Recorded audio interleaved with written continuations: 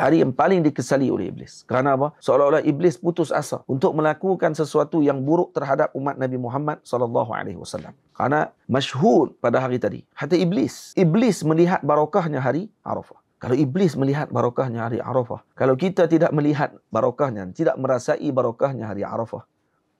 Nah, man anta wa man iblis?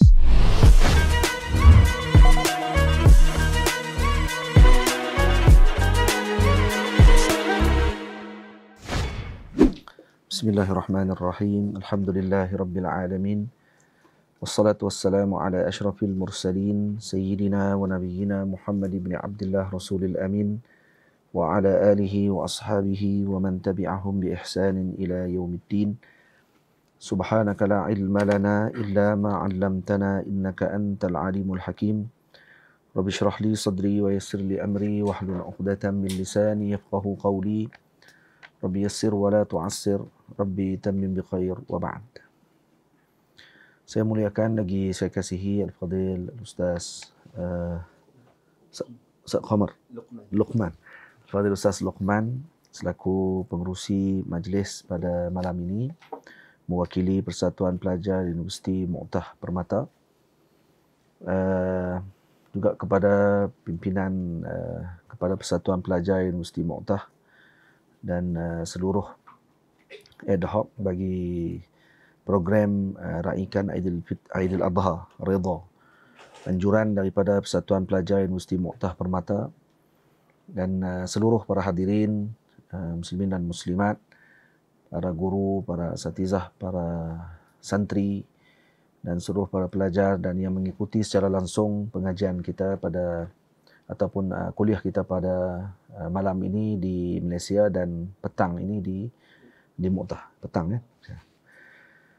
Um, kita sekarang berada pada uh, malam pada satu malam yang dimuliakan oleh Allah Subhanahu wa taala yaitu malam Yaum Arafah. Malam hari Arafah yang merupakan sebesar-besar seagung-agung hari di dalam umur manusia. Dan tidaklah sepatutnya bagi seorang mukmin yang beriman kepada Allah Subhanahu wa taala yang mencintai baginda Nabi kita Muhammad sallallahu alaihi wa alihi wasallam melalui hari ini ataupun esok yang akan kita temui dengan Yaum Arafah bagi tanah air di Malaysia dan uh, sebahagian negara Arab telah menyambut Arafah pada hari ini dan mungkin di Mu'tah uh, sekarang ini pun sedang Arafah kan? Sedang hari Arafah jadi tak sepatutnya bagi kita melalui hari ini tanpa kita mengetahui kelebihan dan istimewanya hari Arafah. Hari Arafah ialah merupakan a'zamu ayyamid dunia. Seagung-agung hari dalam dunia. Dan ini berdasarkan uh, penyaksian daripada Nabi kita Muhammad sallallahu alaihi wa alihi wasallam baginda Nabi sallallahu alaihi wa alihi wasallam telah menyebutkan bahawa Arafah adalah merupakan ahadi ayyami al-ashhuril hurum. Salah satu daripada hari-hari bulan yang diharamkan oleh Allah Subhanahu wa taala. Yang disebutkan oleh Allah inna iddatash syuhuri 'inda Allah 12 syahran fi kitabillahi ila akhiril ayah. Hari Arafah adalah merupakan salah satu daripada hari-hari pada Ashhuril Hajj pada bulan haji atau musim haji yang mana disebutkan oleh Allah Subhanahu wa taala al-hajju ashhurum ma'lumat faman farada fihinna al-hajj fala rafatha wala fusuqa wala jidala fil hajj.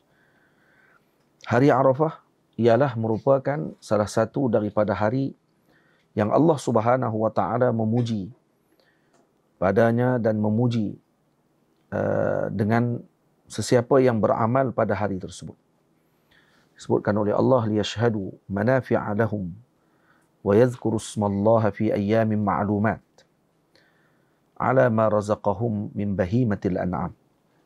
Dan ini adalah merupakan ayyam ahadi ayyamil ma'lumat al musna alaih. Yakni yang dipuji oleh Allah Subhanahu wa taala. Hari Arafah adalah merupakan salah satu daripada ayyamil ashr salah satu daripada hari sepuluh yang pertama yang Allah Subhanahu wa taala bersumpah dengannya di dalam Al-Quran wal fajr wa layalin ashr.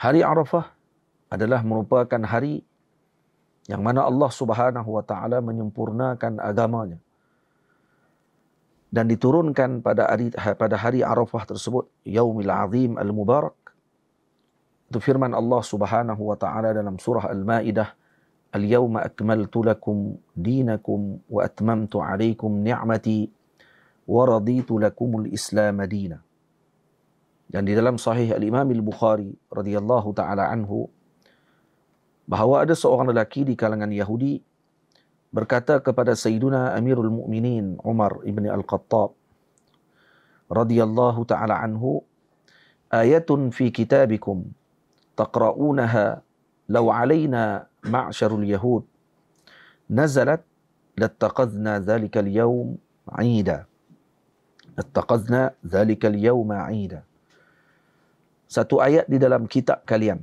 kata Yahudi ini kepada Amirul Mukminin Umar bin Al-Khattab Umar bin Al-Khattab radhiyallahu taala anhu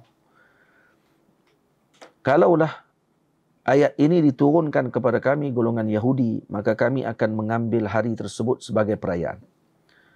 Nanti mereka akan menjadikan hari tersebut sebagai hari untuk mereka mengagungkan ayat tersebut. Kenapa? Li'azamati ata'illahi. Karena agungnya penganugerahan Allah taala pada hari tersebut. Ayatun taqra'unaha law alaina ma'syarul yahud nazalat ayat itu kalaulah diturunkan kepada kami atau dibacakan kepada kami golongan Yahudi nazalat kalau diturunkan kepada kami lattaqadna dzalikal yaumi 'ida maka kata kata Sayyidina Umar radhiyallahu anhu ayu ayatin hi ayat mana satu yang kamu maksudkan Maka kata Yahudi tersebut, "Al-yawma akmaltu lakum dinakum wa atmamtu 'alaykum ni'mati wa raditu lakumul Islam madina."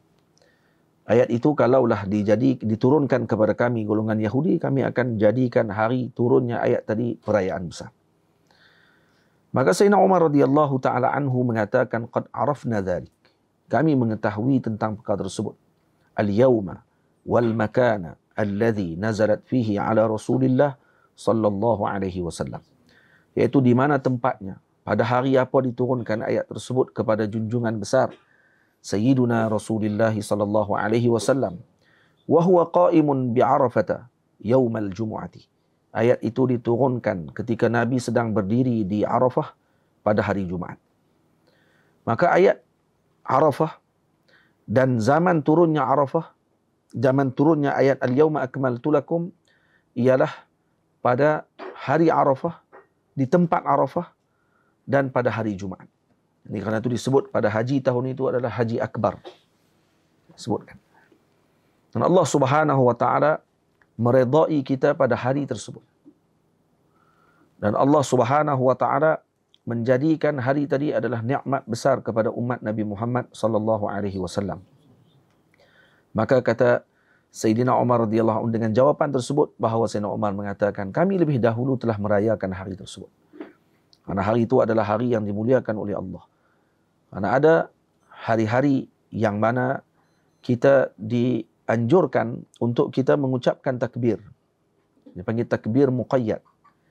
Takbir muqayyad dalam mazhab al-Imam Syafi'i dan mazhab-mazhab yang lain bermula setelah subuh hari Arafah. Bermakna hari Arafah adalah merupakan permulaan hari raya bagi golongan muslimun. Hari Arafah itu sendiri telah dirayakan. Kalau itu kita bertakbir seperti takbirnya hari raya. Jadi esok pagi kalau waktu di Malaysia dan waktu sekarang ini ketika di Jordan, di Mu'tah dan seumpamanya, maka selepas solat disunatkan untuk kita mendahulukan takbir muqayyad daripada mana-mana zikir yang lain. Ini berbeza dengan takbir mursal. Takbir mursal seperti pada hari raya Idul Fitri, maka ianya dianjurkan dilakukan setelah mana-mana wirid, setelah solat. Itu pun hanya waktu yang terhad. Dan tidaklah takbir mursal tadi berlangsung ataupun berlanjutan, melainkan setelah sebelum imam menaiki mimbar. Manakala takbir muqayyad bagi hari raya Idul Fitri, Idul Adha, ini berlanjutan sehingga pada akhir uh, yaum at-tashriq. Iaitu pada hari yang ke-13 selepas asar. Itu hari yang waktu yang terakhir untuk kita melakukan takbir muqayyad. Ini bermula pada esok pagi, subuh, Idul Adha, uh, Arafah. Kemudian masuk pada hari raya yang pertama, kemudian hari yang ke-11 Zulhijjah, ke-12 Zulhijjah dan ke-13 Zulhijjah. Hari 13 Zulhijjah, tamatnya takbir muqayyad adalah pada waktu asar. Setelah solat asar dan maknanya maghrib pada waktu itu telah masuk pada 14 Zulhijjah maka tidak lagi dianjurkan untuk kita takbir muqayyad. Takbir mursal pada hari raya Aidil Adha bersamaan dengan waktunya dengan takbir mursal pada hari raya Aidil Fitri. Maka takbir pada hari raya Idul Adha lebih banyak. Dan bermula takbir tadi menunjukkan bahawa kita telah masuk ke dalam perayaan pada hari Arafah. Bermaksud kita telah menjadikan hari tadi sebagai hari raya. Dan ini walaupun tidaklah disebut dengan hari raya dan ini tidak me, me, me, apa ni bercanggah dengan hadis Nabi sallallahu alaihi wasallam. Yang Nabi mengatakan bahawa ada dua hari raya yang diberikan oleh Allah kepada umat Nabi sallallahu alaihi wasallam yaitu hari raya Aidil Fitri dan Aidil Adha. Manakala yang kita maksudkan di sini ada hari yang disebutkan oleh Al-Imam Ibn Rajab Al-Hambali rahimahullahu taala di dalam kitabnya Lataiful Minan, Lataiful Ma'arif, tak maaf, Lataiful Ma'arif disebutkan ada hari raya yang kita sambut setiap minggu. Dan ada hari raya yang kita sambut pada setiap tahun yang ianya tidak berulang. Seperti hari Arafah, seperti hari raya Idul Fitri, seperti mana hari raya Idul Adha. Dan ada yang setiap minggu berulang, iaitu hari Jumaat.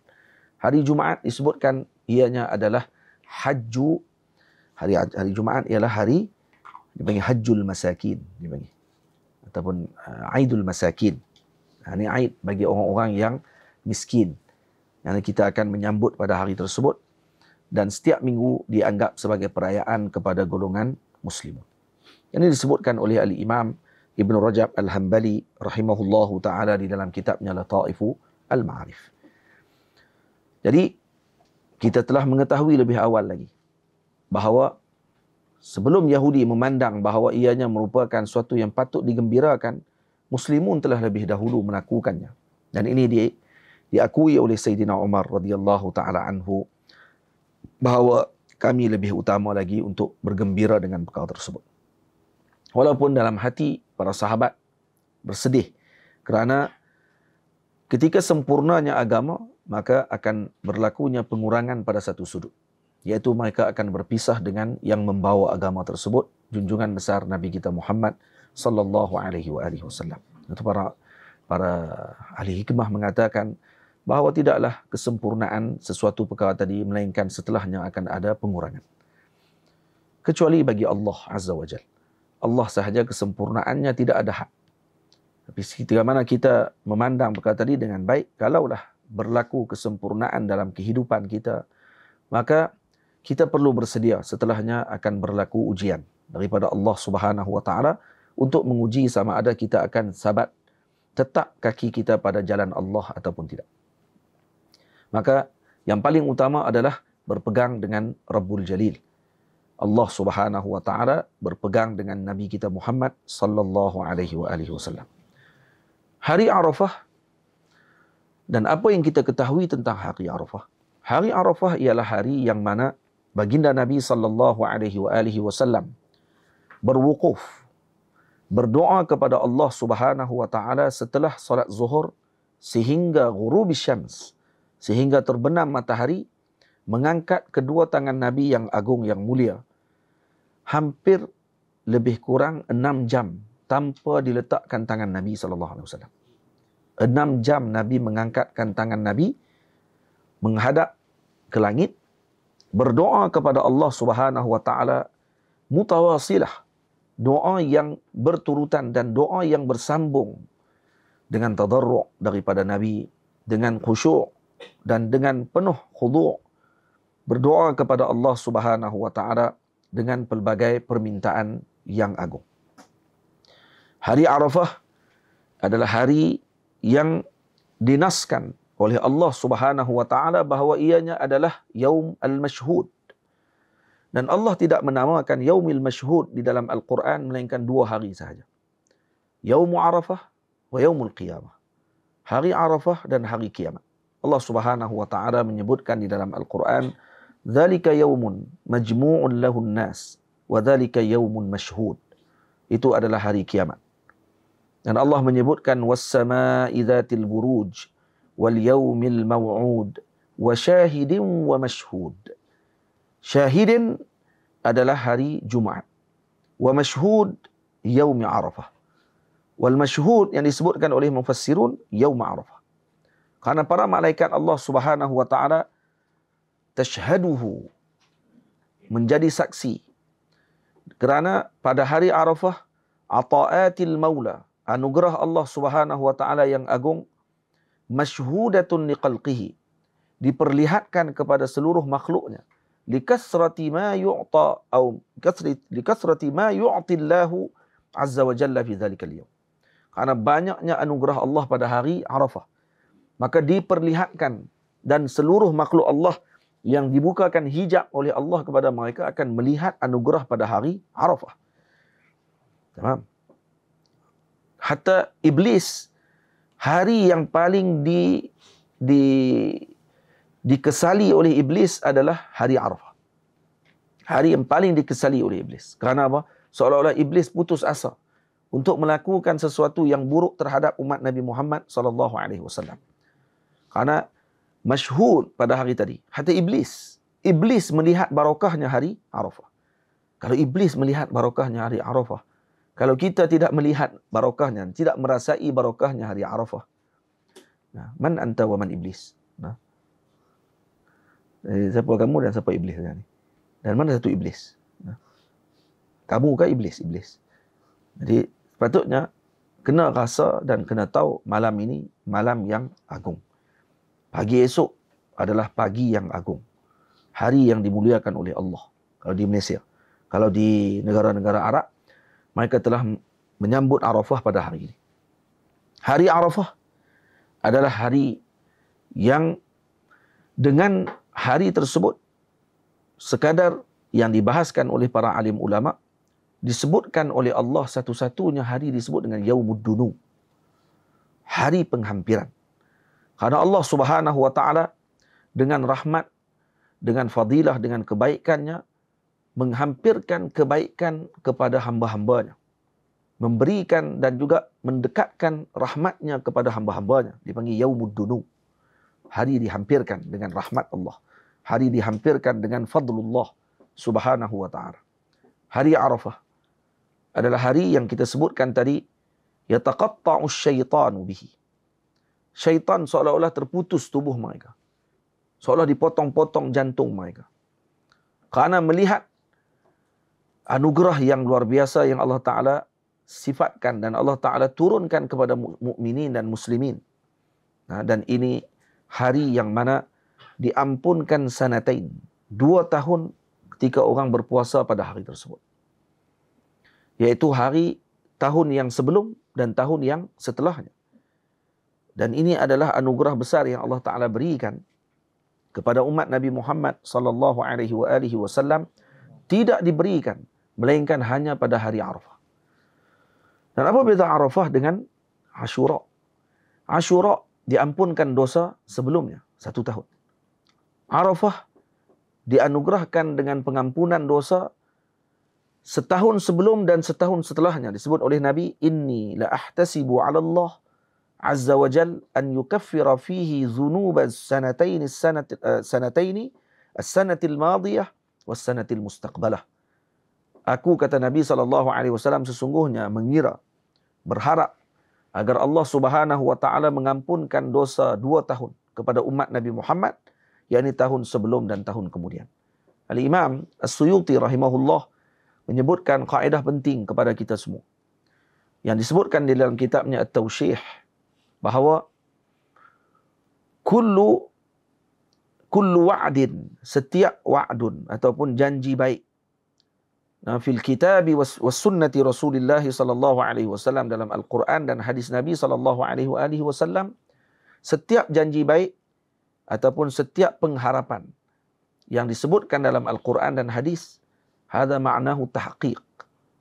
La bi makna tarji. Dia dengan makna tahqiq bukan dengan makna ar-raja.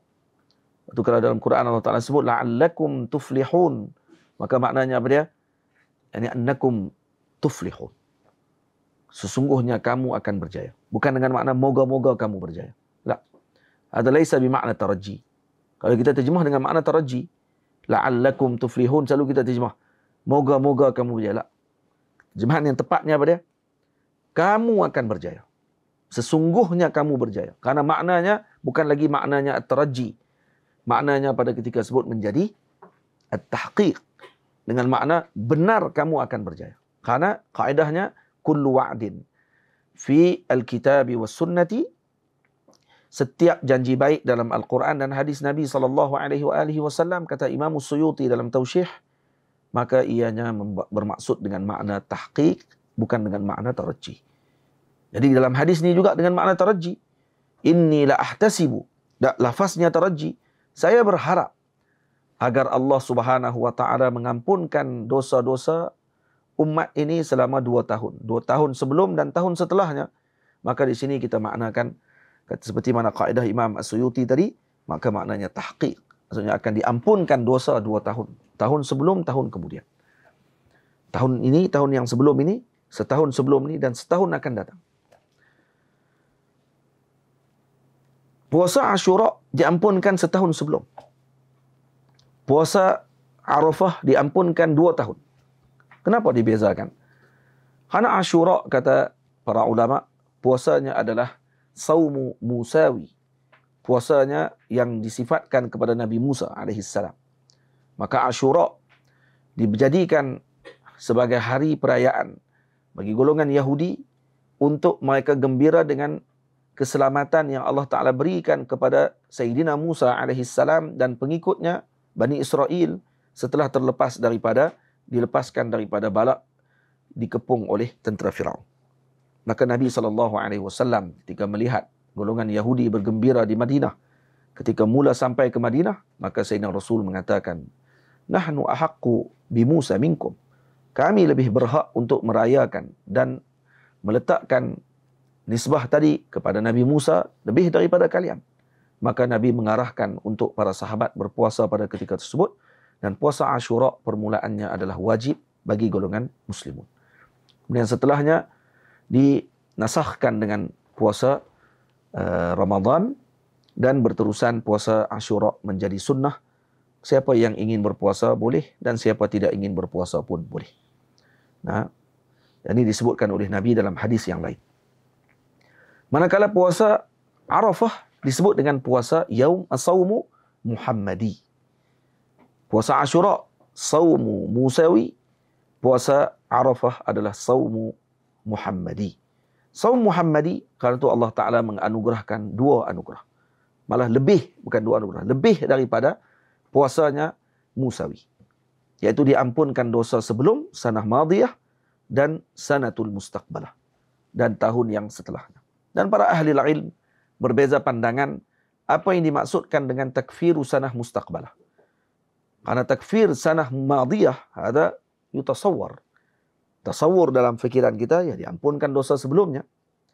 Manakala tasawur untuk sanah mustaqbalah bagaimana maksudnya? Maka kata sebahagian para ulama dijaga maksud diampunkan adalah dijaga orang yang berpuasa pada hari Arafah esok atau hari ini berpuasa maka dia dijaga pada tahun akan datang daripada wuqu' fil qata' berlaku dalam kesilapan Laisa ma'nahu annahu ma'sumun. Kan ma'sumin. Bukan dengan makna bahawa dia akan jadi maksum. La. Lakin mahfuzin. Tapi mereka dijaga oleh Allah. Seperti para wali Allah subhanahu wa ta'ala. Al-awliya laisu ma'sumin. Walakin hum mahfuzin. Nah. Mereka dijaga oleh Allah subhanahu wa ta'ala. Kalau berlaku dosa, maka mereka akan cepat untuk memohon ampun kepada Allah dan diampunkan dosa mereka. Dan ini salah satu lagi makna, iaitu Allah subhanahu wa ta'ala kalau menetapkan kepada hamba tadi dengan kesilapan, maka Allah akan mengampunkan dosanya dengan segera. Barakah saum Arafah. Lihat macam mana agungnya puasa Arafah. Dan tidak diketahui amalan yang mana Allah Ta'ala memberikan pahala terlebih dahulu pada tahun yang akan datang dan pahala yang besar pada tahun akan datang. Melainkan dengan yang Allah Ta'ala berikan kepada hamba-hambanya mukminin min ahli badr. Ahli badar adalah mereka yang mana diampunkan dosa mereka yang terdahulu dan akan datang. Tak? Jadi maknanya kalau seorang yang berpuasa pada hari Arafah, kalau setiap tahun, kalau dipanjangkan umurnya oleh Allah, setiap tahun dia puasa Arafah, bermakna dia diampunkan dosanya sepanjang. Sepanjang ketika dia berpuasa tersebut. Tak? Jadi kalau kita tahun ni berpuasa Arafah, tahun tahun kemudian, tahun lepas dan tahun kemudian diampunkan. Tahun depan puasa Arafah. Hak sebelum tu lagi dah diampun dah. Maka dibagi lagi oleh Allah Taala dengan anugerah. Dilipat gandakan dengan amalan. Kemudian tahun akan datang pula diampunkan lagi dan berterusan begitu kepada hamba yang mengingati perkara tersebut dan tidak memandang enteng dengan amal yang telah disebutkan oleh junjungan besar maka orang tadi akan dapat kena anugerah yang besar. Dan satu-satunya nah, pahala yang Allah Ta'ala berikan mustaqbali yang bersifat dengan akan datang diberikan oleh Allah kepada para hambanya mukminun para sahabat Nabi yang agung yang terlibat di dalam peperangan Badar. Yang disebutkan oleh Sayyidina Rasul sallallahu alaihi wa alihi wasallam kepada Sayyidina Umar. Waktu ketika mana Sayyidina Umar ingin memancung ataupun ingin melakukan kekerasan kepada uh, Sayyidina Hatib ibni Abi Balta'ah. Sayyidina Hatib ibni Abi Balta'ah, sahabat Nabi yang mengikuti peperangan Badar. Tetapi ketika mana Fatahu Makkah, beliau terlalu mencintai dan merindui keluarganya yang berada di Makkah Al-Mukarramah.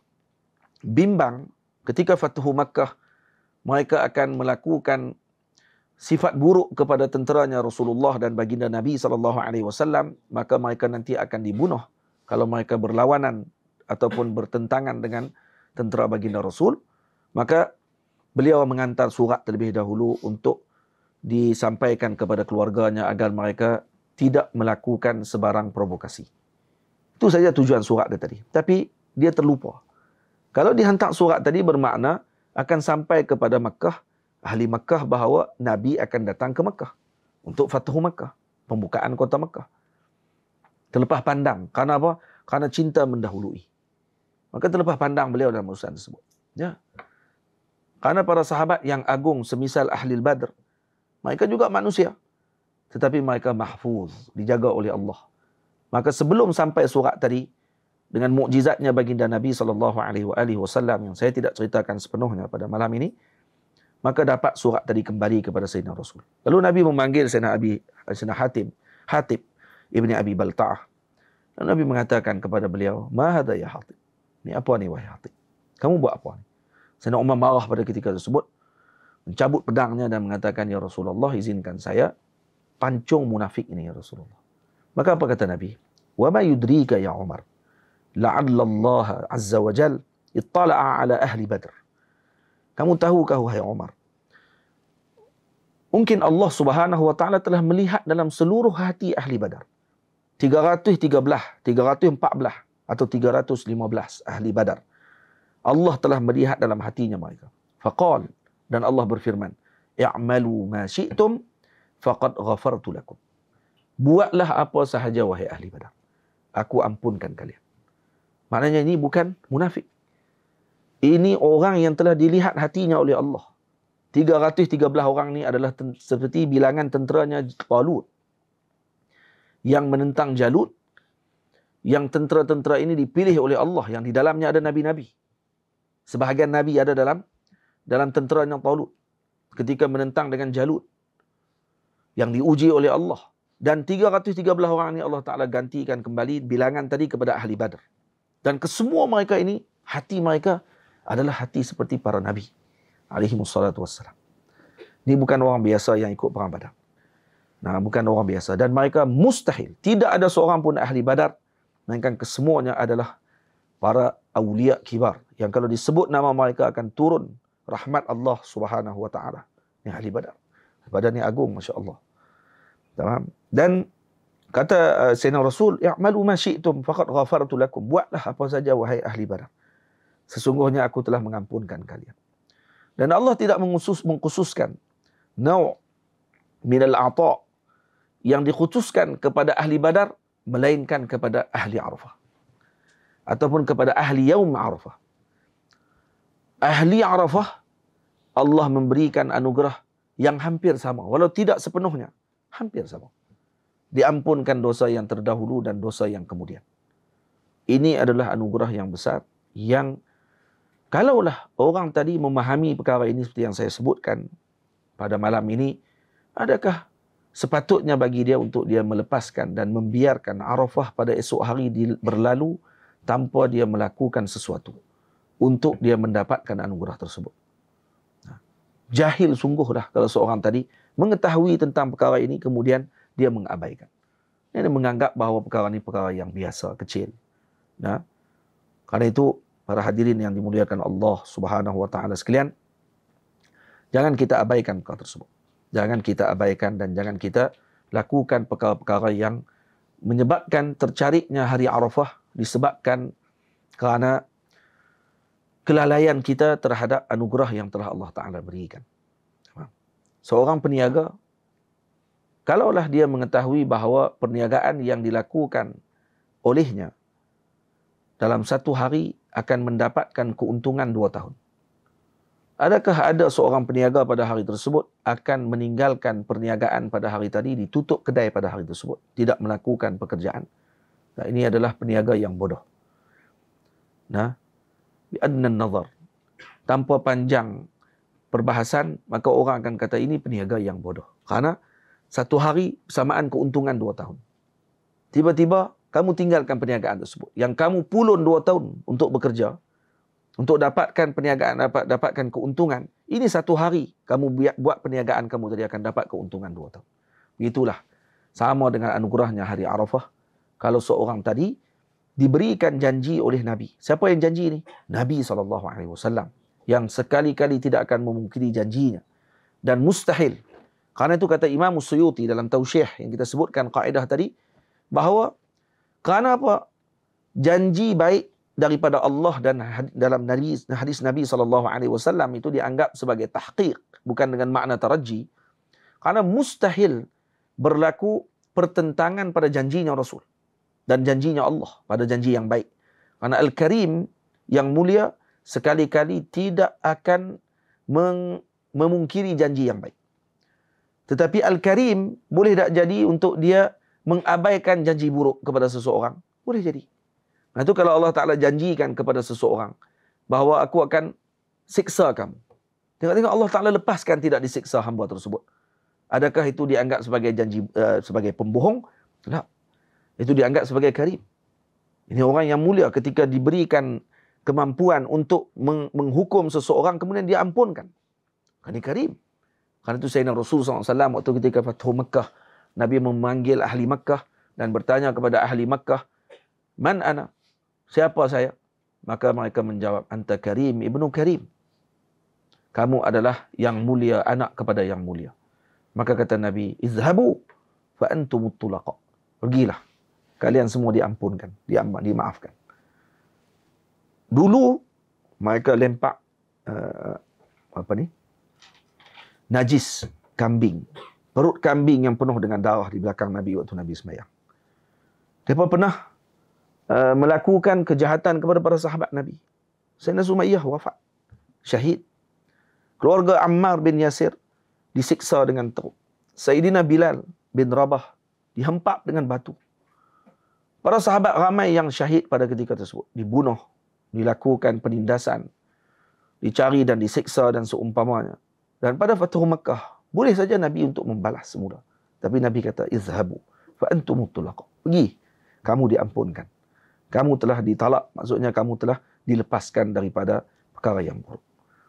Ini menunjukkan kepada kemuliaan akhlak dan keagungan ketinggian kedudukan Nabi sallallahu alaihi wasallam tidak memandang kepada balas tapi memberikan dengan belas kasih kepada umat Nabi sallallahu alaihi wasallam. Para hadirin yang dimuliakan Allah. Rahmat Allah pada hari Arafah ni adakah, ni ramai yang bertanya, adakah hanya dikhususkan kepada ahli mauqif ataupun diberikan kepada seluruh mukminin dan muslimin. Maka tidak ada dalil di dalam hadis menunjukkan bahawa maghfirah keampunan Allah hanya dikhususkan kepada ahli mauqif. Bahkan anugerah Allah Subhanahu wa taala kepada ahli Arafah itu disertakan bersama dengan sesiapa sahaja yang syahid zaman yang bersama dengan masa Arafah tersebut bukan dengan yang syahid al makan yang bersama di tempat Arafah tadi. Karena itu dalam Al-Quran Allah Subhanahu wa taala menyebut liyashhadu manafi'a lahum wa yadhkuru ismallah. Ah fi ayyamin. Allah Taala tak sebut fi makanin fi ayyamin. Dia sebutkan fi amakin. Fi ayyam. Maka di sini menunjukkan bahawa al-yawm ini akan menyebabkan saya yang berada pada hari Arafah. Seseorang yang lain yang berada pada hari Arafah akan mendapatkan anugerah seperti ahli mauqif di makan di Arafah. Di tempat di Arafah. Ini dalil daripada Al-Quran. Dan kemudian disebut lagi oleh Allah. Wal fajr walayalin ashr. Nah, demi fajar dan Allah bersumpah dengan layalin ashr iaitu 10 malam yang pertama dalam bulan Zulhijjah. Maka Allah Taala bersumpah dengan zaman Arafah karena Arafah termasuk salah satu daripada layalin ashr. Dan ini termasuk malamnya. Layalin ashr. Maka Allah bersumpah dengan zaman Arafah dan Allah tidak bersumpah dengan makan Arafah dengan tempat Arafah. Dan Nabi wasallam juga menyebut dalam hadis khairud du'ai du'a'u yawma arafah. Sebaik-baik doa adalah doa pada hari Arafah. Dan ini nas jelas ala zaman. Khairud du'a du'a yaumi Arafah. Nabi tak kata doa fi Arafah. Doa yaum Arafah pada hari Arafah. Dan kata Nabi sallallahu alaihi wa alihi wasallam, "Ma min yaumin aktsaru in aktsara min an yu'tiqa Allahu fihi abdan minan nari min yaumi arafah. Dan Nabi sebut lagi yaum arafah. Tidak ada hari yang mana lebih banyak Allah membebaskan hamba-hambanya daripada neraka melebihi daripada hari arafah.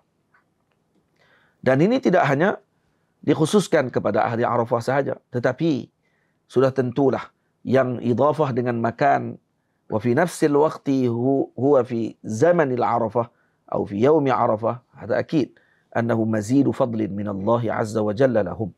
Maka Allah Taala menambahkan kepada mereka dengan anugerah karena mereka mendapatkan dua kelebihan. Kelebihan duduk di Ma'rafah dan kelebihan bersamaan dengan hari Arafah. Kita tidak dapatkan kedua-duanya. Yang tidak dapat kedua-duanya maka kita tidak ditinggalkan dengan kedua-duanya. Kita diberikan oleh Allah dengan salah satunya yaitu Yaum Arafah. Kenapa hari Arafah dinamakan dengan hari Arafah?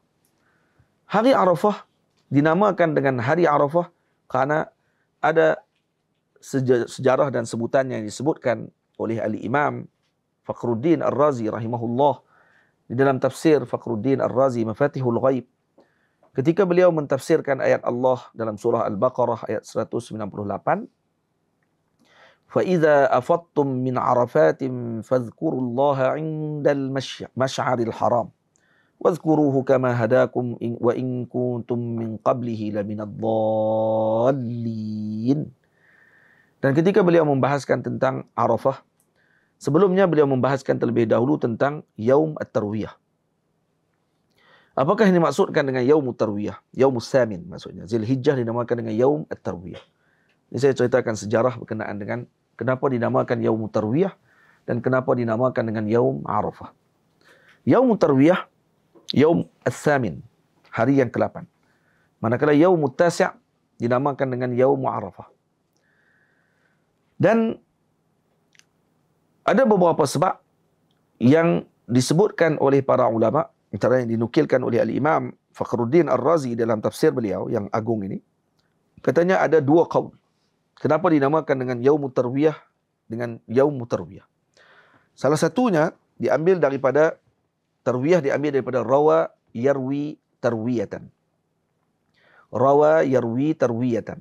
Jadi kata akarnya daripada rawa. Yarwi tarwiyatan.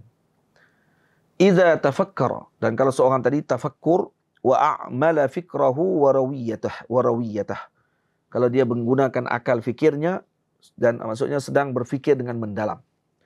Maka dinamakan dia dengan tarwiyah. Iza tafakkara. Dan ini berlaku jadi ada dua pandangan. Satu pandangan asalnya daripada apa? Rawa yarwi tarwiyatan. Ai idza tafakkara. Yang kedua pandangan mengatakan apa ni uh, yaumut tarwiyah dinamakan tarwiyah min rawahu minal ma yarwihi tarwiyatan ai idza saqahu min atashin. Ini kalau diberikan penghilang dahaga kepada seorang maka dinamakan dengan tarwiyah. Dan hari dihilangkan dahaga. Tamam. Baik sebab kenapa dinamakan tarwiyah dengan tafakkar? Dengan makna tafakkar. Pertama ada tiga qaul kata ulama. Pertama Sayyidina Adam alaihi salam ketika diarahkan untuk bina bait membina Baitillahil Haram. Ketika beliau membina Baitillahil Haram, tafakkar. Jadi beliau terfikir pada waktu tersebut. Rabbi, kata beliau, inna likulli amilin ajra setiap amal perbuatan yang melakukan amal tadi, pembuat amal tadi akan dapat pahala. Fama ajri ala hadzal amal? Apa pahala yang saya akan dapatkan dengan amal buat baitillah ini? Qala kata Allah, "Idza tufta bihi" Wahai Adam, kalau kamu bertawaf padanya, ghafartu laka dzunubaka. Aku akan ampunkan dosa kamu bi awwali syautin min min tawafik. Dengan satu pusingan pertama saja aku dah ampunkan dosa-dosamu. Semua. Tamam. Laka zunubak. Tamam. Semua dosa kamu diampunkan. Mana semua? Ha. Kalau zambun, satu dosa kan? Kalau zunub, jamak kepada zamb. Dan kemudian dia idafatkan. Baik, kalau kalau kata apa ni kata para ulama lughah kalau kata sebut kata idafatu al-mufrad mudaf nah ta'um. Mufrad mudhaf fata'um. Mufrad yang diidafatkan maka dia akan maknanya umum. Yang ini jamak mudhaf. Maka maksudnya lebih lagi lah. Diampunkan oleh Allah subhanahu wa ta'ala. Maka kata Sayyidina Adam AS, Ya Rabbi zidni. Ya Allah tambahkan lagi ya Allah. Tambahkan lagi anugerahnya. Qala aghfir li awladika idha tafu bihi. Aku akan ampunkan juga dosa anak-anak cucumu kalau mereka bertawaf di Baitillahil Haram. Qala zidni. Di Baitillah ni maksudnya di Kaabah tu. Qala zidni, ya Allah tambahkan lagi. Maka kata Sayyidina, kata Allah, "Ighfir aghfiru li kulli man istaghfara lahu ta'ifuna min muwahhidi auladik." Dan aku ampunkan juga setiap yang memohon ampun Ya, siapa dia yang mohon ampun? At-ta'ifun. Iaitu yang tawaf tadi mereka mohon ampun di kalangan muwahhidi auladik maka akan diampunkan sekali. Hatta mereka tidak tawaf tapi golongan yang tawaf minta ampun kepada mereka maka mereka juga yang bertauhidkan Allah akan diampunkan juga oleh Allah Subhanahu wa taala. Maka kata Nabi Adam hasbi ya rabbi hasbi. Cukuplah ya Allah cukup. Maksudnya ini adalah anugerah besar yang Allah taala berikan kepada umat Nabi Muhammad. Jadi perbuatan Nabi Adam tafakkar tadi dipanggil tarwiyah. Dan itu berlaku pada 8 Zulhijjah. Satu lagi disebut kata Pandangan kedua dinamakan tarwiyah karena anna Ibrahim alaihi salam. Sayyidina Ibrahim alaihi salam ra'a fi manamihi lailata tarwiyah.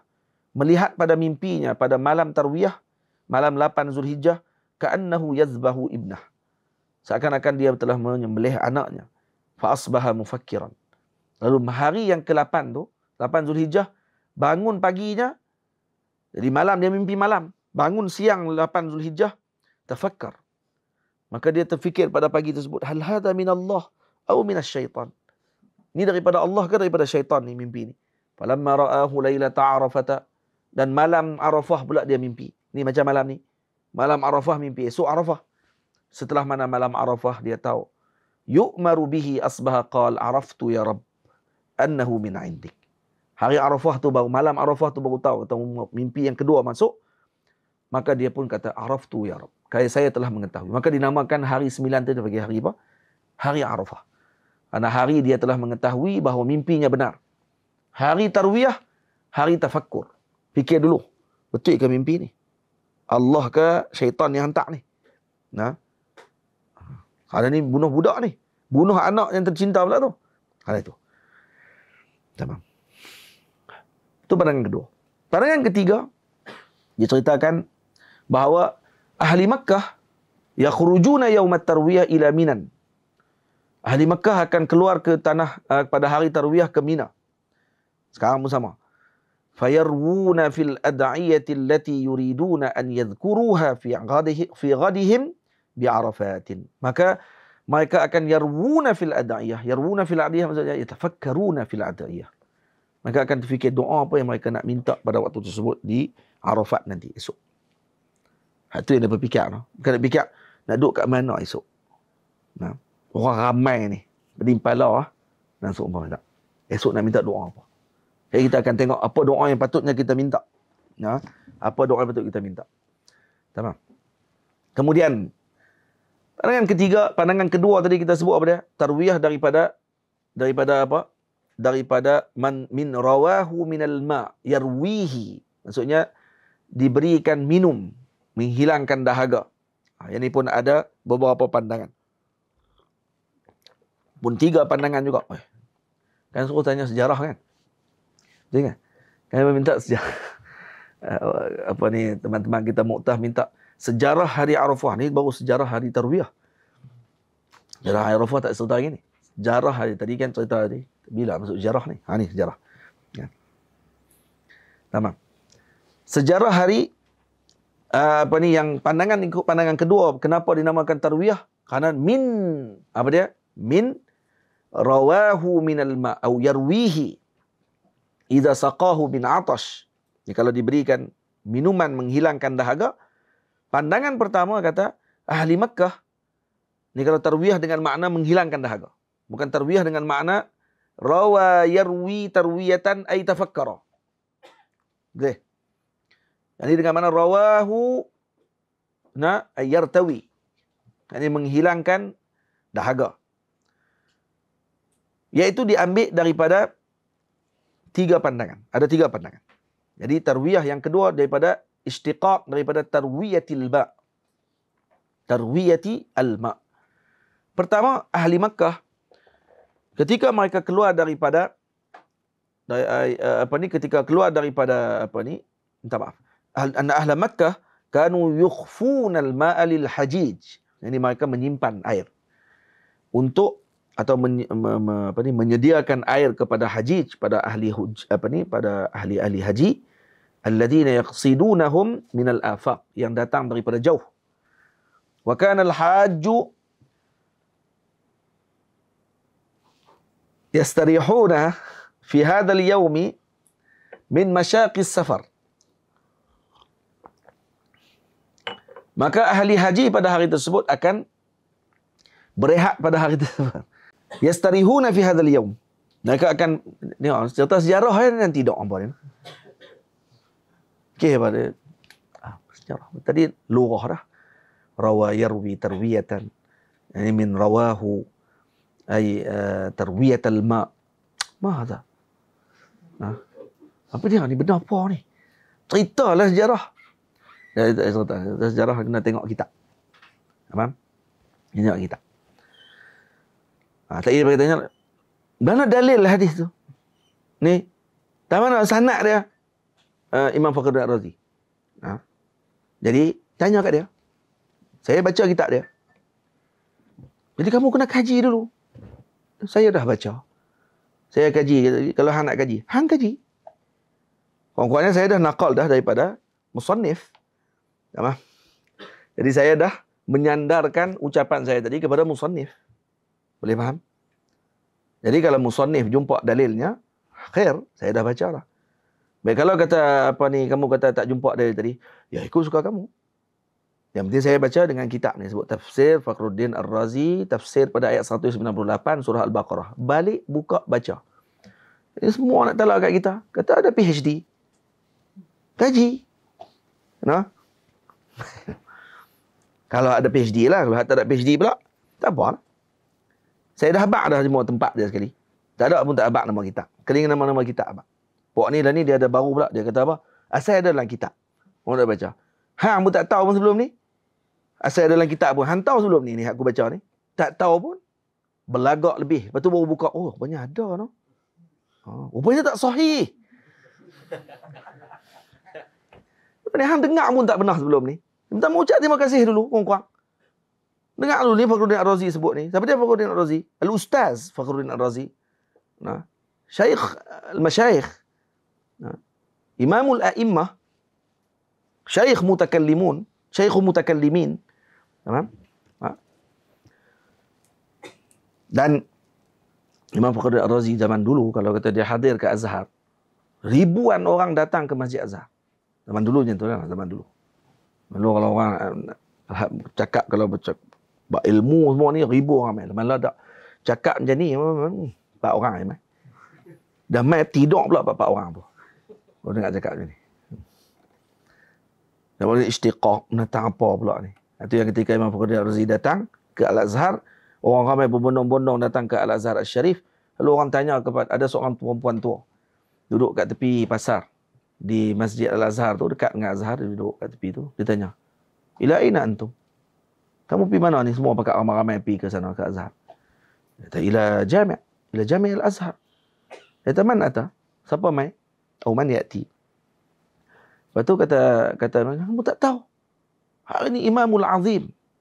Al-Imam Fakhruddin Ar-Razi. Imam Fakhruddin Ar-Razi datang ke Al-Azhar. Ni di Masjid Azhar. Dia akan bagi syarahan. Siapa dia Fakhruddin Ar-Razi? Orang tu.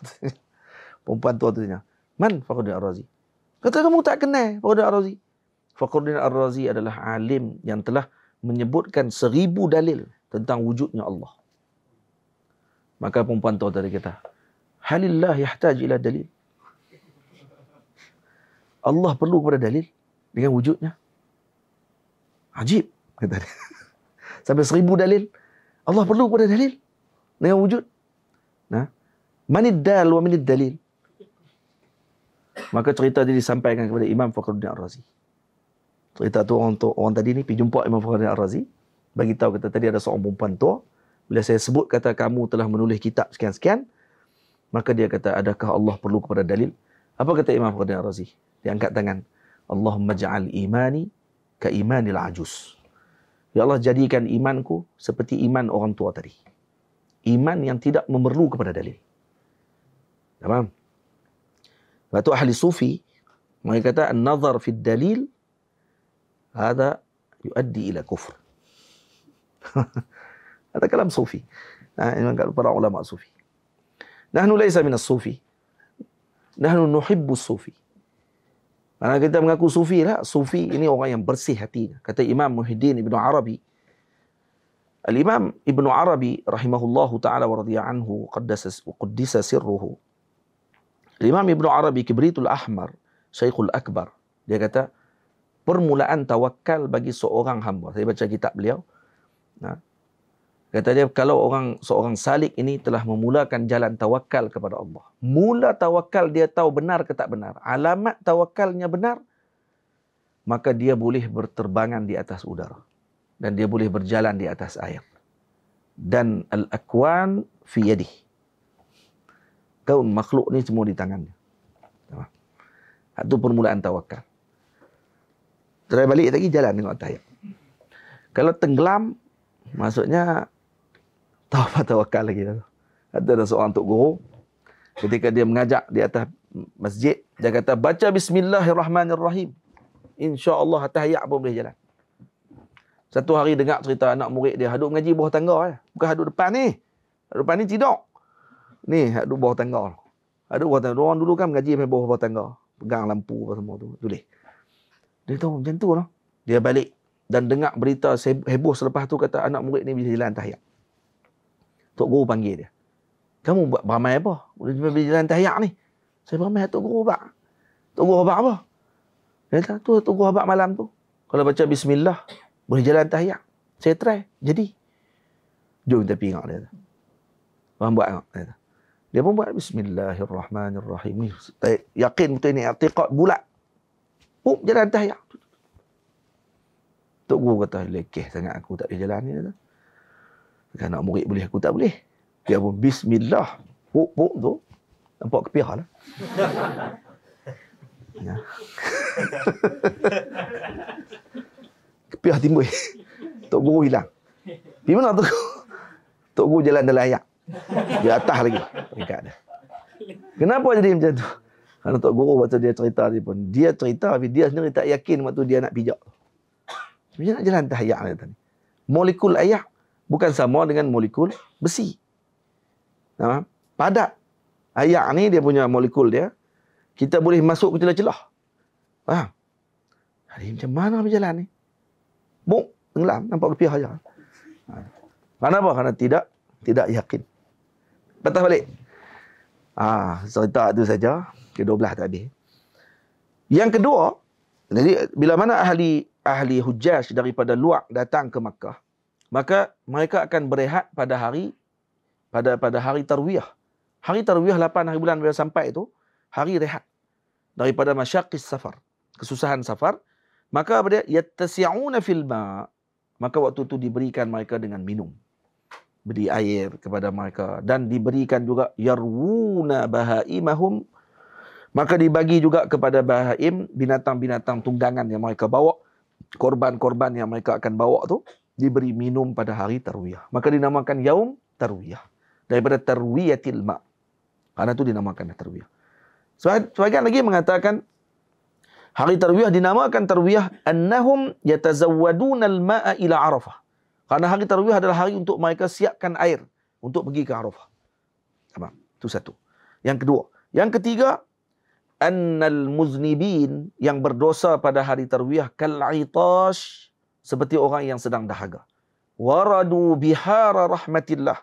Mereka sedang melepasi dan melalui lautan rahmat Allah. Fasharibu minha hatta ru. Dan mereka minum daripada lautan tersebut sehingga mereka hilang dahaga. Jadi mereka berenang dalam lautan rahmat Allah Subhanahu Wa Taala. Ya, orang tanya pula, lautan. Bukan ayat laut kalau minum lagi dahaga lah. Lautan bukan mesti laut yang mesti apa ni kita kata yang masin. Al-bahr yutlaqu aidan ala nahrin kabir. Boleh jadi juga. Dan lautan sini tashbih saja. Untuk tunjuk kata dalam tu ada ayat yang banyak. Maka mereka melalui lautan tadi dengan rahmat Allah Ta'ala dan mereka minum daripada lautan tersebut sehingga mereka hilang dahaganya. Dan fadlullah hadal yaum, fadlullah kelebihan Allah pada hari tersebut, seperti yang Allah Ta'ala sebut, wasyaf'i wal watr. Apa dia syafa' Apa dia watr?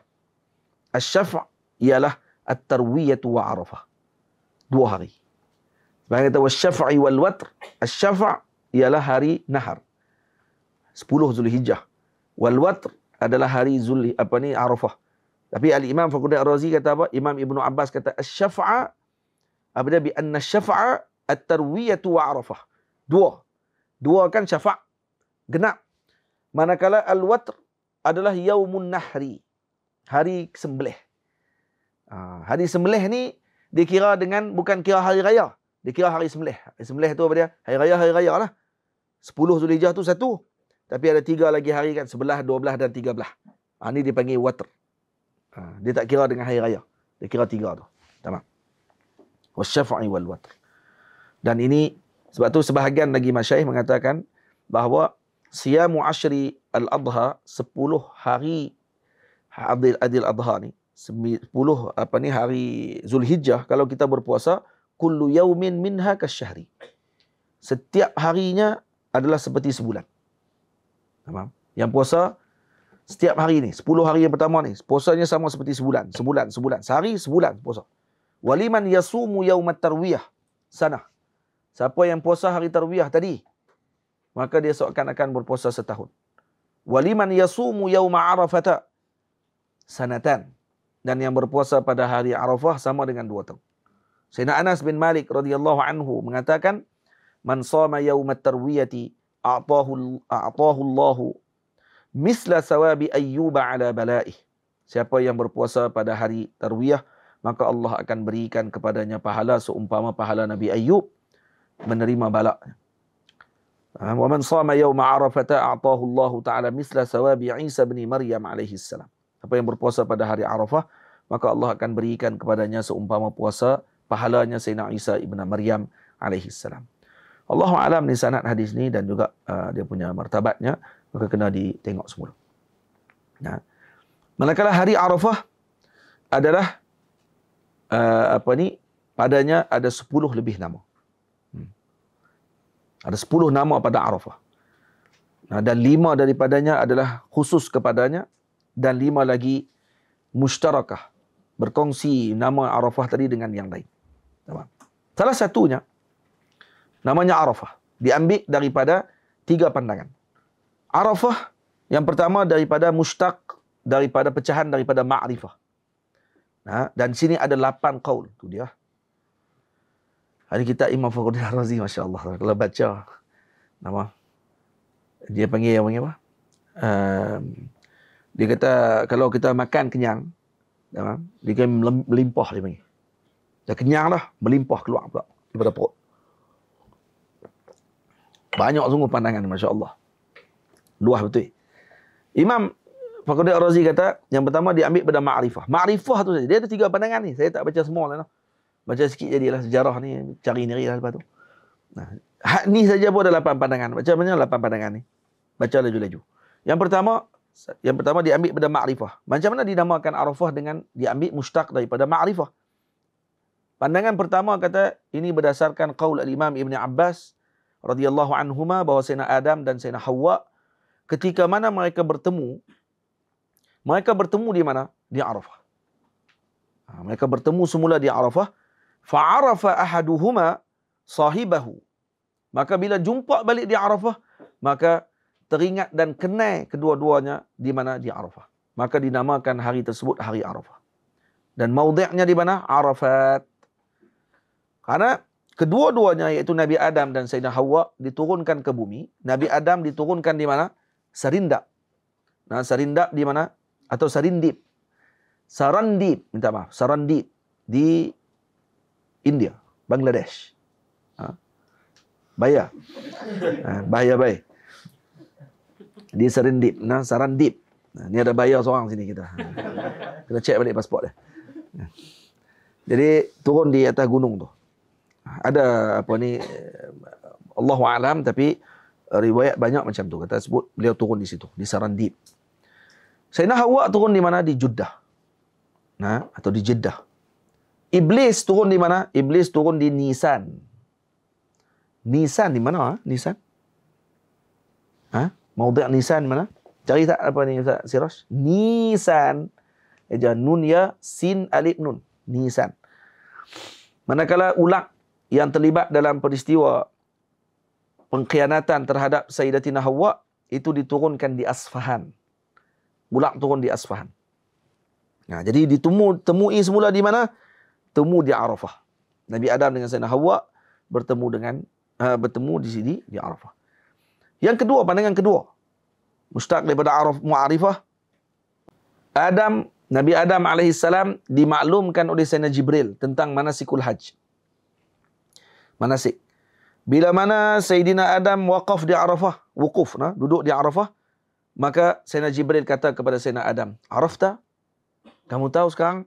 Maka Nabi Adam kata, Naam. Maka dinamakan Arafat. Di sebelum itu diajak duduk.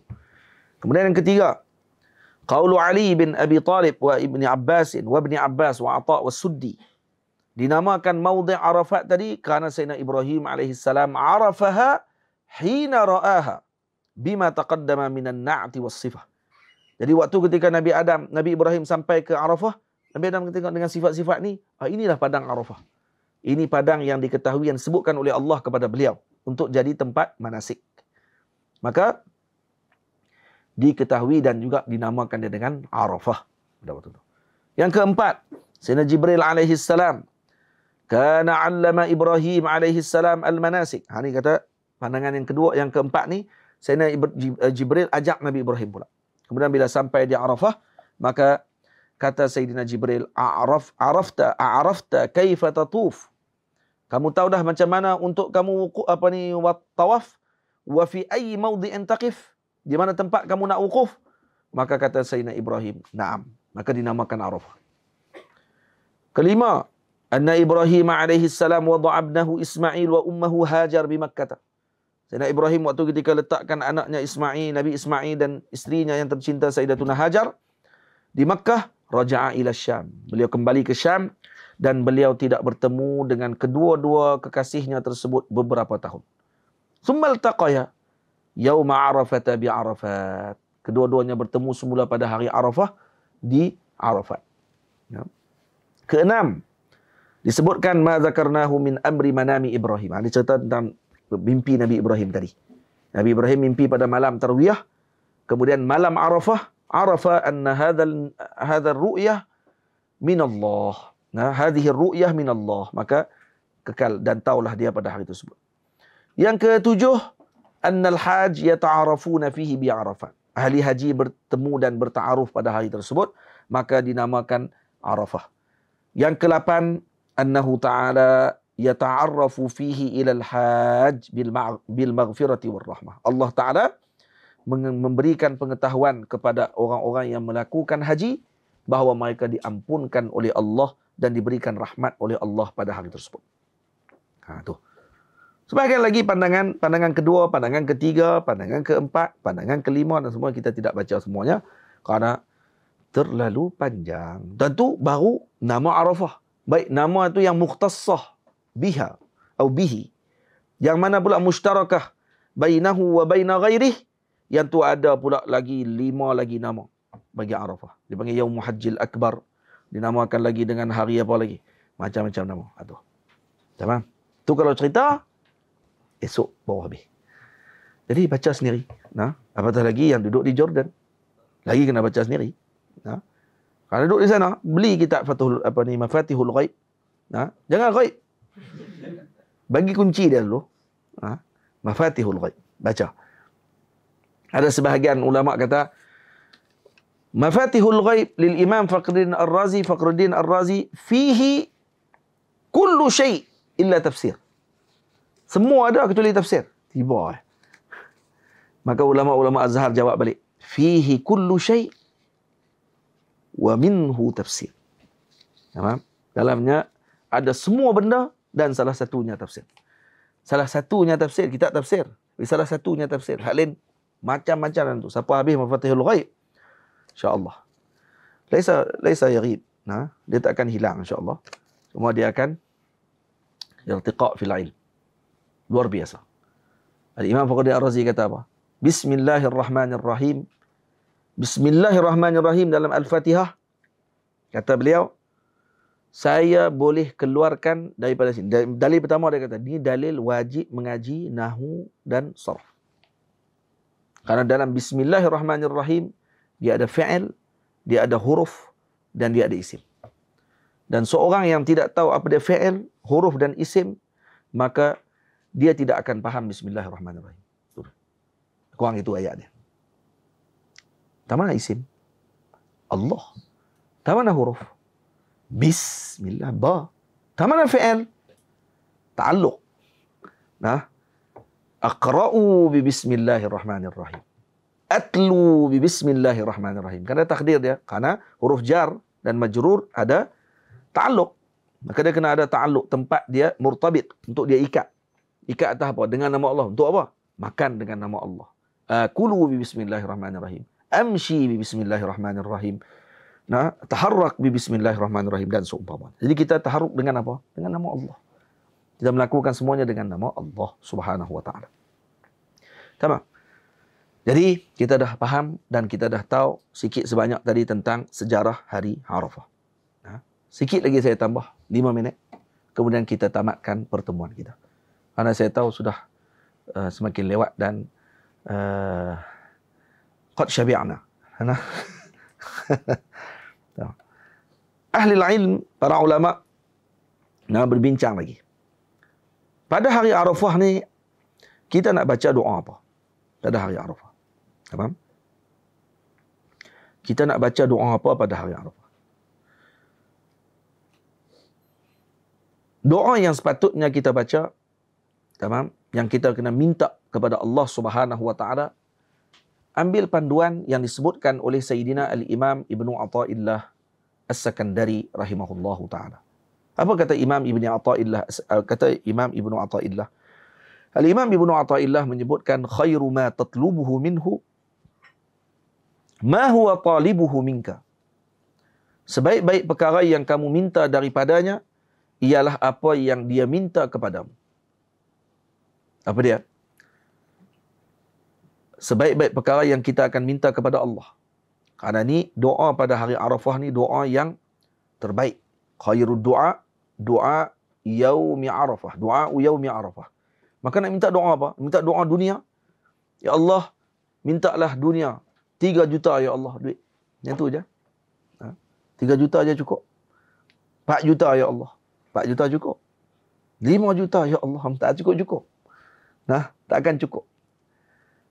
Jadi minta apa yang terbaik. Khairu ma tatlubuhu minhu. Sebaik-baik yang kamu minta daripada Allah. Ma huwa talibuhu minka. Iaitu perkara yang Allah minta kepadamu. Apa dia?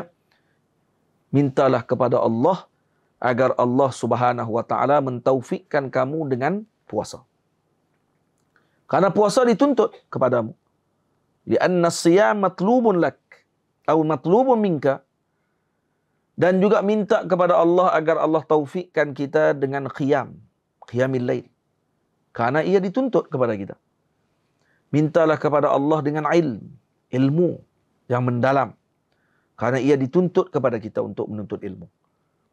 Nah, dan tidaklah orang tadi dikira rugi ketika mana meminta dengan dunia.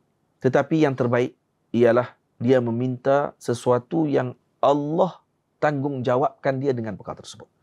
Minta agar Allah Ta'ala beri kepada kita taufik untuk tidak meninggalkan Al-Quran.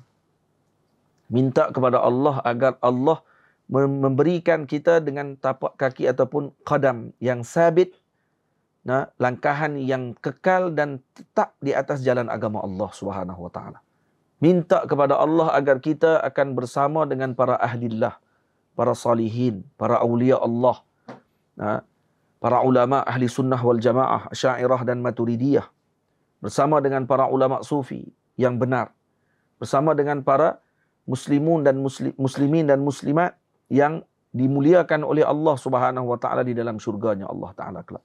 Minta yang terbaik. 6 jam Nabi angkat tangan.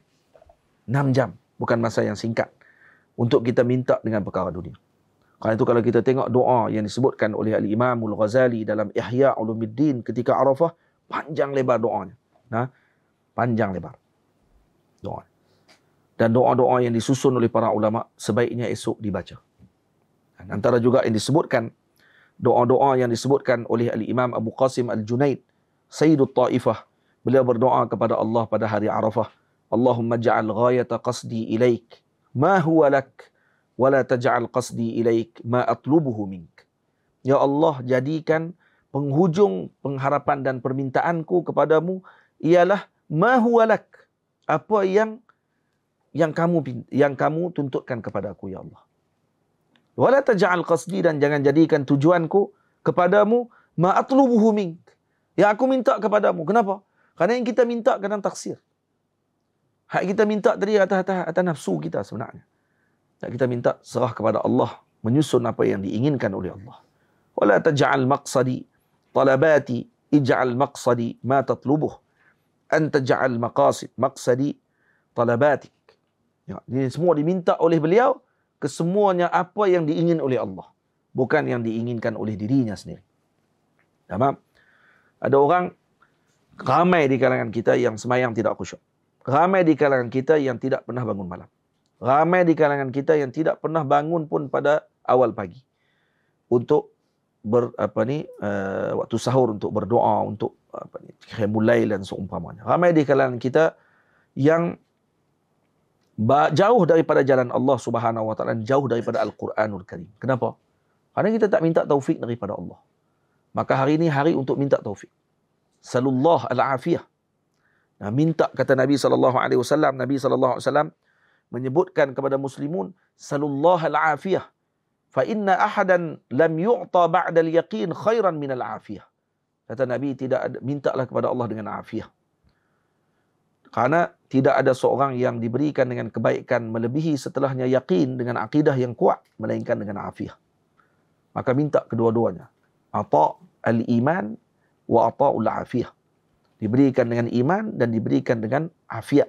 Ini yang sebaik-baik yang kita kena minta kepada Allah pada hari Arafah. Waktu kita minta Allahumma inni as'aluka al-afwa wal afiyah fi dini wa dunyaya wa ahli wa mali. Allahumma astur awrati wa amin rawati.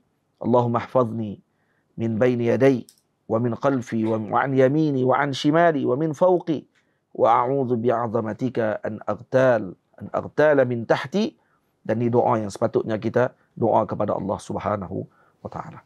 Dan hari ini hari Arafah adalah hari yang paling banyak diampunkan dan banyak di itqun minan nar, dilepaskan daripada api neraka. Maknanya hari Arafah hari orang-orang yang ditetapkan dalam neraka dia akan dibebaskan. Dengan apa? Kalau orang masuk penjara, biasanya orang tadi akan dilihat dengan akhlak baiknya. Maka kemungkinan dia akan diringankan hukuman penjara dia tersebut daripada beberapa tahun kepada beberapa bulan.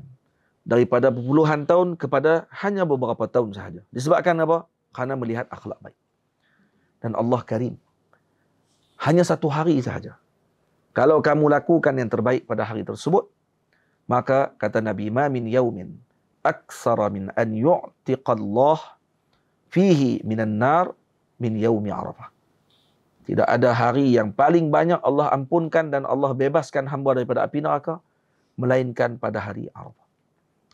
Moga kita dibebaskan daripada api neraka. Amin ya rabbal alamin. Dan Allah Taala jadikan kita di kalangan hamba-hambanya yang terpilih untuk mendapatkan anugerahnya pada esok hari dan kita jangan mengambil ringan dengan urusan esok. Urusan esok, urusan yang sepatutnya dipenuhkan kita dengan ibadah. Tanpa perlu kepada hatta kalau kalau kata ada orang dia perlu kena ada majlis baru dia akan bersemangat untuk ya kita berjemaah. Kalau tidak ada majlis sekalipun, kita tak akan meninggalkan untuk kita melakukan ibadah tersebut Nah, dan moga-moga kita diberikan dengan kebaikan di sisi Allah Subhanahu wa taala. Saya ucap terima kasih banyak kepada pihak Satuan Pelajar Universiti Mu'tah Permata. Saya pernah pergi dah sekali ke sana pada tahun 2012 kalau tak silap saya. Pernah sekali pergi. Waktu tu saya dijemput ke Mafraq oleh teman-teman kita di Mafraq untuk baca kitab uh, panggil Syama'il Nabi sallallahu alaihi wasallam selama seminggu Kemudian mereka bawa saya berjalan seminggu pula. Saya duduk sana dua minggu. Jadi seminggu lagi berjalan dan antara tempat yang saya pergi ke Mu'tah lah. Melawat di tempat apa ni, uh, Ma'rakah Mu'tah. Dan kemudian melawat para sahabat Nabi yang agung di sana. Sina Ja'far Tayyar. Nah, Sina Zaid. Nah, lagi Sina Abdullah Rawahah. Nah, ketiga-tiganya yang terlibat dalam peperangan Mu'tah yang disebutkan oleh Nabi SAW dalam hadis tentang kisah mereka dan moga-moga kami dapat sampai lagi insya-Allah ke sana. Amin ya rabbal alamin. Dan saya ucap terima kasih dan saya doakan kepada seluruh uh, para pelajar yang berada di Universiti Mu'tah diberikan oleh Allah dengan taufik, diberikan dengan ilmu yang bermanfaat, diberikan dengan uh, kekuatan uh, pada himmah aliyah untuk terus menuntut ilmu agama Allah Subhanahu wa taala. Terima kasih juga kepada para asatizah daripada Universiti Mu'tah yang hadir sama-sama di Zawiyah pada hari ini. Dan moga Allah Taala memberikan kebaikan kepada mereka semua Ustaz Luqman dan juga kepada rombongan beliau yang hadir. Moga-moga diberi kebaikan kepada beliau dengan adab beliau dan seluruhnya diberikan dengan uh, anugerah ilmu daripada Allah Subhanahu Wa Taala. Mohon ampun mohon maaf kepada semua. Moga-moga kita dapat mengambil semangat esok hari dengan uh, di Malaysia ni lah. Dan di sana sekarang ni sedang dalam puasa Arafah saya kira moga-moga diberikan dengan uh, kebaikan dan doakan seluruh umat Islam khususnya para teman kita yang berada di Gaza di Palestin. Diberikan oleh Allah dengan uh, perlepasan dan kebaikan dan diberikan kesabaran kepada mereka dan diberikan kepada seluruh umat Nabi sallallahu alaihi wasallam semangat untuk mengambil berat tentang golongan muslimin di seluruh alam ini insya-Allah taala dan doa esok doakan kepada Allah Subhanahu Wa Taala agar Allah Taala memberikan kebaikan kepada mereka dan memberikan azab dan kehancuran kepada kelompok yang melakukan kejahatan kepada umat Nabi Muhammad sallallahu alaihi wasallam. Wassalamualaikum warahmatullahi wabarakatuh.